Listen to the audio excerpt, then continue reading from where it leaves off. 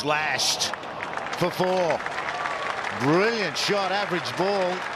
De Villiers goes to 53. Yeah, well batted. I want to talk about this new technique that he's got going, but he's averaging uh, pretty well in the last few years, so it's effective. He works hard. He, he had a lot of throwdowns at the end of yesterday. He went out and he had someone throwing to him for a good 20 minutes or so.